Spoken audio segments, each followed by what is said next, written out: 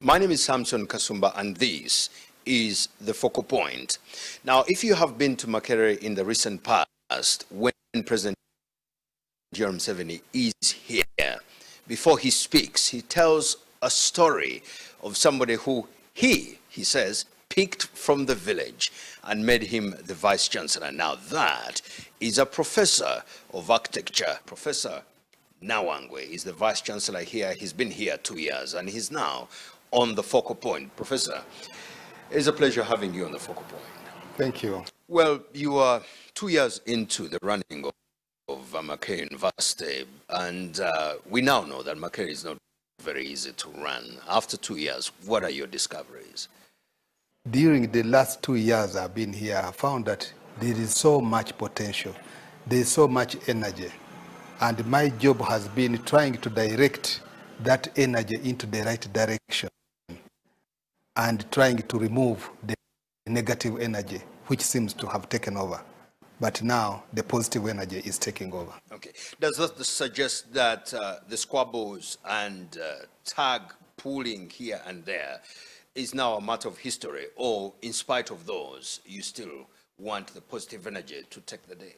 Makerere is a, a complex organization, but since it is also an organization of people who are intellectuals, then the most important thing is to make everybody behave intellectually, and then it becomes easy to manage. Can one say that when managing intellectuals who are trained to question, because, I mean, in education, you're trained to think critically, you're trained to question.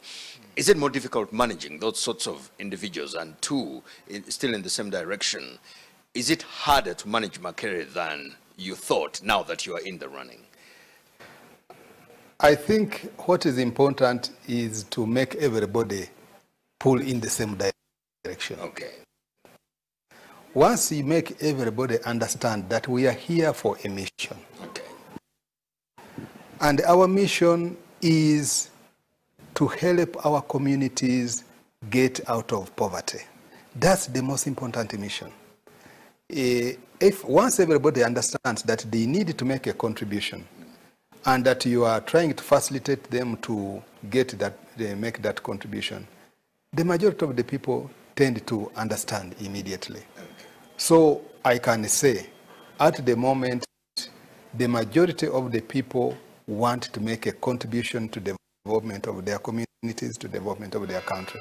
And that makes it easy to run the university because you are dealing with people who understand why they are here. Have you found out that it was, it is a lot more complicated than you actually thought when you sit in the chair of vice chancellor? The challenges have been more than I thought okay. I would meet. Mm. But that has also been good for me mm. because then it makes me to think in different ways how to manage. The important thing is that uh, once you create a dialogue and uh, tell the people what you think should be the direction and they buy into that direction, then it becomes easy. But definitely the challenges have been more than I could have imagined. Okay. Um, you, you, said that once you get everybody to understand, uh, that may not necessarily be practical because there are two theories. Try to get everybody to understand, which will take you a lot of time, or try to get the critical mass to understand, then they pull the rest. Which one, from your experience, is more workable? I think the critical mass is more workable. Okay. You can never succeed in making everybody think that you are, your direction is the right direction. There will always be people who think otherwise. Even those who may not think otherwise, but by nature like to have some controversy. Okay. Yes. So what is important is to have the majority of the people understanding and buying into your ideology. You mean the majority that matter? The, the influential leaders? Yes. Okay. Yes, definitely. Okay. Yeah. Now, Makerere has been known for the wrong reasons. At least we in the media, every time we come to Makerere, we come to cover strikes. Um, if those strikes are not for non-teaching staff, they're for teaching staff or the students, or one group strikes always after another. Um, how have you dealt with that so that, um, in a sense, the university now, I think known recently to be fifth on the African continent is known for the right reasons? Yes, Makerere has been known for a long time for the wrong reasons. And uh, it is understandable. Makerere is a big brand name. Okay. It is an international name. Anything happens here is of interest to very many people. And very many people would want to say something about what has happened. And that, of course, always makes news. So we are in a kind of a tricky situation. We're a big brand name, and if we want to get keep out of the bad news, then we must do the right things. And that is not always easy. Yes, we have had problems of strikes. And uh, the strikes have been over things that really do, do not uh, build the country. They don't build the, the university. Strikes over, uh, uh over salaries, when actually government has been increasing salaries. Uh, strikes over uh, some very petty things like we don't like a certain clause in the human source manual. But you are intellectuals. Why don't you discuss about it? Why don't you convince the council that uh, the decision to include this clause is against the law, it is against human rights? Why must you coerce through a strike? Why don't you use your brains? Because you are the top brains. You should be able to convince. And this is what I'm trying to, to tell people. Let's use your brains instead of using, you know, um, uh, co coercive uh, methods. The same thing with the students. I tell them, you are the top brains of this continent. Surely, how can you assume that you are going to resolve every problem by rioting? Are you are future leaders. Are you going to lead the country through riots? Or you are going to exercise your brains? So, uh, building their thinking capacity, their debating capacity, I think has been very crucial. And I think that the students now appreciate that that's the right way to go, and they are coming up with a lot of innovations to rebrand the university, even without my intervention. Remember, you are the best brains on this continent. You are students of the great Makerere. Let nobody hear you saying things like that. Yeah, respect yourselves.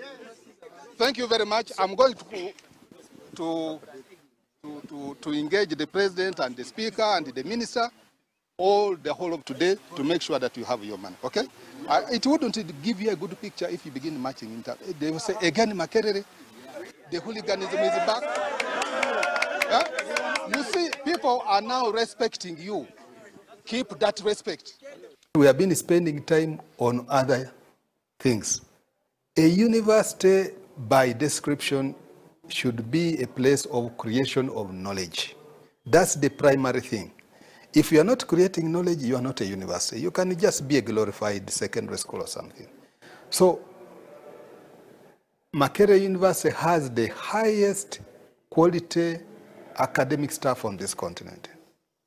So, one would expect that they are busy creating knowledge trying to solve the problems of the continent, trying to get our continent out of poverty and out of marginalization. That should be the important thing. A lot of people have been doing that, but the problem is that there has been a big group who have been sort of pulling everybody in the wrong direction, okay. making them waste their time through you know, uh, these strikes. You see, any day of a strike at Makerere University is very costly to this country. How costly? Because you are saying all these more, almost 1,000 brains, PhD holders, instead of doing research and addressing issues that affect our development, they are just seated there doing nothing. So that's why I say these brains, if they are just there doing nothing, it is very costly for the country. Every strike pulls our country backward by several years. Okay. And I want to believe that very many people now understand that. One would imagine that when students come to Makerere during their orientation week, are the ideas as good as what you're suggesting should be part of the enrollment process so that they understand that unlike elsewhere, I wouldn't want to be seen to patronize, in an intellectual society like Makerere, if you have a problem, you take it to a classroom or you write a paper and then somebody responds. If that is not enough, you come to the main hall and you debate over it, uh, students, professors, and everybody, and you find a solution. Why is that not the case? And students in a big academic institution like this one believe in plucking leaves, we're talking climate change, getting on the streets and throwing stones, methods for conflict resolution that should be used outside the university have crept into the university. How can that be the case? Well, uh, I think there are historical circumstances Okay. That uh, caused this. Of course, you know, we went through several civil wars. Okay. And uh, many children were born in the, in the wars. Many children were on the streets without parents. So parenting became a problem. And for me, I believe this is part of the problem. Okay. That even in the schools, uh, discipline eventually broke down. So we get our students from the schools. Okay. And if discipline already broke down at home and then in the schools, we do not expect a different person when they come to Makerere University. So there are values that were there in society before that spate of civil wars that had sort of deteriorated. That has been somehow addressed over the years. Okay. And uh, I think the situation may be changing now. Okay. Uh, but you are right. Uh, we do not have uh, programs that uh, develop these students at, at secondary school or even when they come here. The orientation doesn't include on things like how should you behave. We But you lecture peace and conflict studies here. Um, uh, do you think that your administration would ask more of the lecturers in that area to deal with this situations?